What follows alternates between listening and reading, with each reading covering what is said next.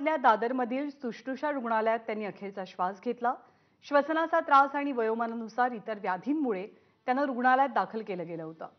त्यांच्या निधनामुळे चित्रपटसृष्टीतल्या एका पर्वाचा अंत झालाय.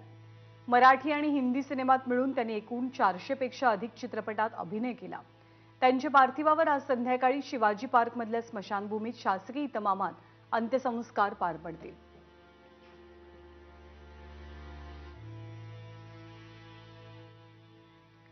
तर सुलोचना दिदींच्या निधनानंतर बिग बी अमिताभ बच्चन यांनीही शोक व्यक्त केलाय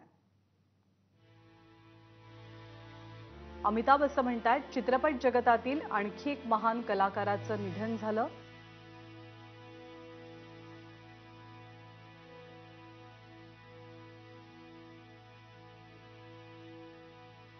सुलोचनाजी अनेक चित्रपटांमध्ये त्यांनी माझ्या आईची भूमिका केली.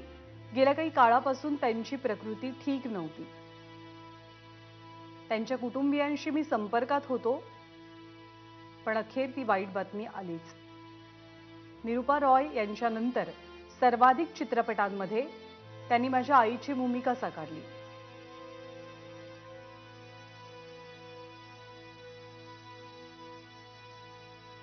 माझ्या पंच्याहत्तराव्या वाढदिवसानिमित्त त्यांनी स्वतः पत्र लिहिलं होतं. मला ते पत्र अजूनही आठवत आहे ते पत्र मला मिळालेल्या सर्वोत्तम गिफ्ट्सपैकी एक आहे असं म्हणत अमिताभ बच्चन यांनी सुलोचना दिदींच्या आठवणी जागवल्या आणि त्यांना श्रद्धांजली वाहिली. या बातमीनंतर बुलेटिनमध्ये आपण छोटासा ब्रेक घेऊया. पाहत राहा एबीपी माझा.